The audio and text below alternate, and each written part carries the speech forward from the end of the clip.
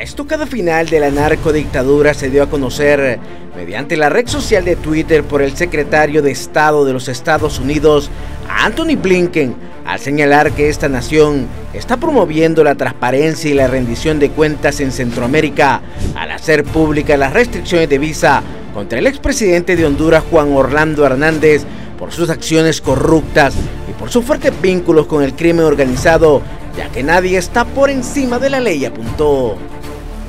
Así es, mire que lo que están haciendo los norteamericanos es que empiezan ya a desempolvar todas las acusaciones que tienen contra el señor Juan Orlando Hernández. Primero, las que se relacionaron con narcotráfico están todavía pendientes, porque se suma a lo de que tener un hermano narco y por otro lado haber sido mencionado más de 90 veces en los juicios por narcotráfico. Pero hoy está siendo también requerido por el delito de corrupción, de apropiarse de los dineros del pueblo. Y es precisamente eso lo que ha ahondado en la pobreza en el país, que los recursos que se han destinado para salud, educación, vivienda, trabajo,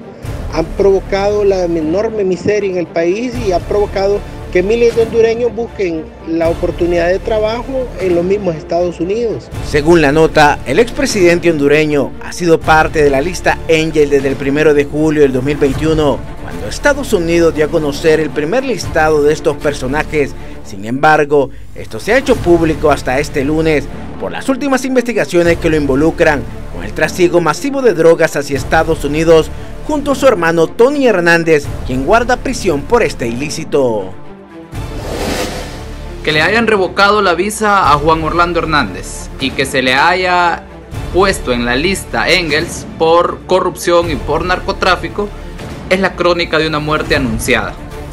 Esto solo es el paso a la futura extradición de el ilegítimo e ilegal presidente que tuvo nuestro país durante ocho años, que ha socavado la democracia, que ha socavado la independencia de poderes y el Estado de Derecho. En ese sentido, pues consideramos que no va a ser el único. Aquí se van a venir más personas que estuvieron directamente involucradas en la corrupción, en el narcotráfico y en las redes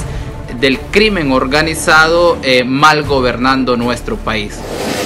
Asimismo, la senadora Norma Torres manifestó que esto es el primer paso, luego vienen los cargos revelados en la Corte de Nueva York y después su extradición, afirmó.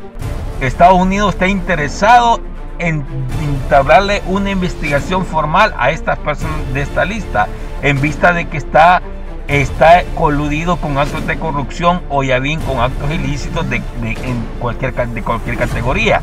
Pero sí es muy importante que el Departamento de Estado lo ha hecho público hasta hoy. En el 2021, el 1 de julio de 2021 ya había sido incluido, pero no lo había hecho público porque en ese entonces Juan Orlando Hernández era, era presidente eh, de Honduras. Pero ya que ahora él ha vacado en el puesto, ahora él tiene toda la libertad, Estados Unidos tiene toda la libertad para poder investigarle.